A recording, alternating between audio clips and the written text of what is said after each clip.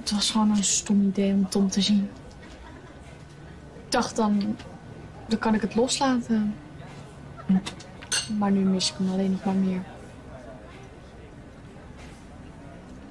Stomme wiegje ook. Heb je spijt dat jij me... Eh, dat hij niet bij ons woont?